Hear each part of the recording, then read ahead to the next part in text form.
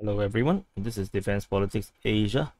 Uh, as part of the plan to uh, prepare for life after the Ukraine war, I cannot let this YouTube uh, channel just become like uh, purely about Ukraine war.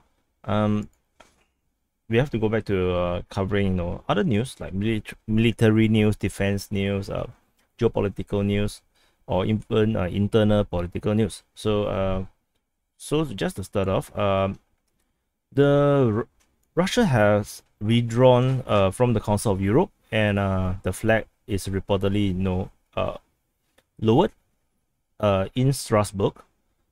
So as of 16th of March, uh, Russia is no longer the member of Council of Europe. So then curiously, what is Council of Europe? Uh, which I did not have any idea. So it's actually an international organization uh, found after World War II to uphold things that they cannot really uh, enforce effectively.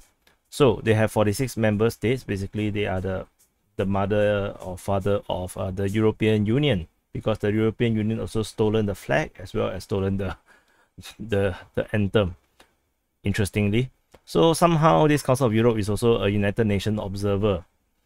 I have no idea how this works because isn't every country already you know part of United United Nations?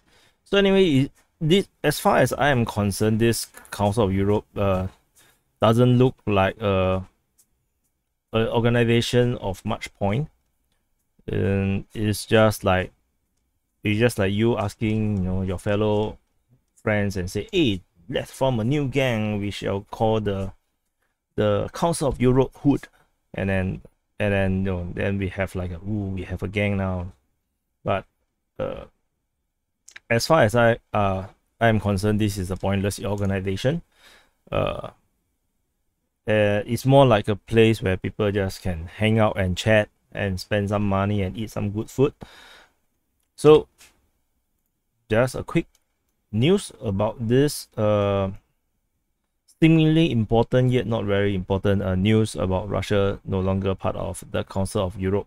So uh, hope you uh, hope this is a start of uh, more interesting news uh, covering things that is either related or out outside of uh, the Ukraine war.